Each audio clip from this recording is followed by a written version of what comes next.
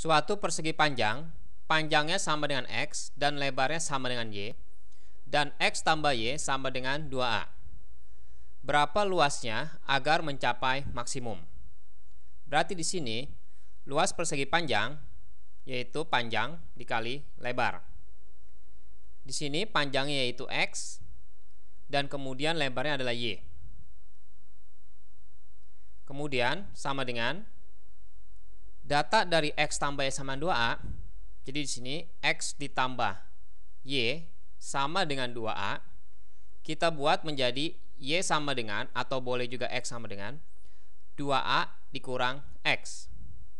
Jadi kita masukkan di sini X dikali dengan Y-nya kita ganti 2A dikurang X. Kemudian kita kalikan X dikali 2A menjadi 2AX. Kemudian X dikali min X menjadi min X kuadrat. Di sini kita dapatkan A-nya bertanda negatif, berarti dia maksimum. Berarti soal ini memang benar, yaitu mencapai maksimum. Kemudian kita mencarinya, kita bisa memakai rumus langsung.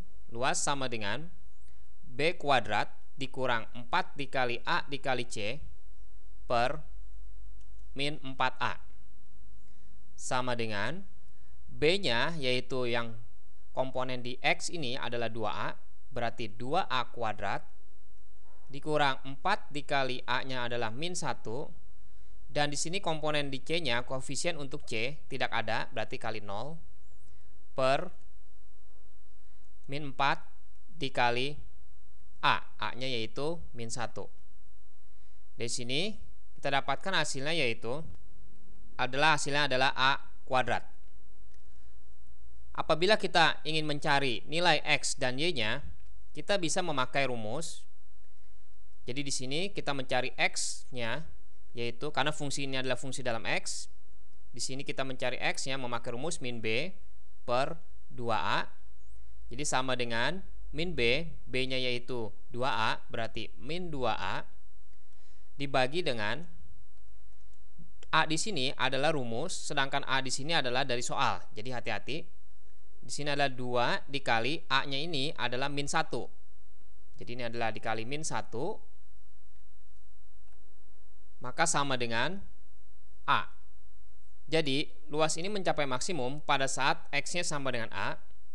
Dan apabila kita ingin mencari Y-nya, kita masukkan Y-nya sama dengan 2A dikurang X. Berarti 2A dikurang A berarti sama dengan A juga.